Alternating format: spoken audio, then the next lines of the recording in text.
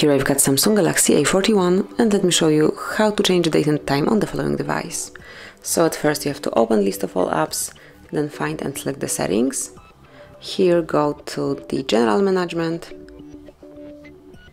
and go to date and time. And you can either use automatic date and time or you can turn it off. And now you can select time zone.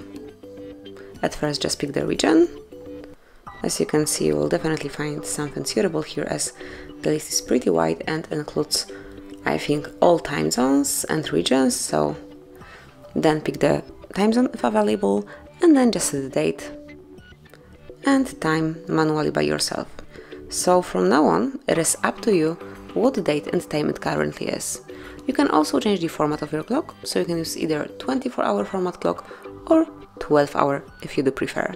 So this is it. This is how you can change date and time in your device whenever you want to go back to automatic setup. Just tap on those switchers and that's it. So this is it. That will be all. Thank you for watching. Please subscribe our channel and leave the thumbs up.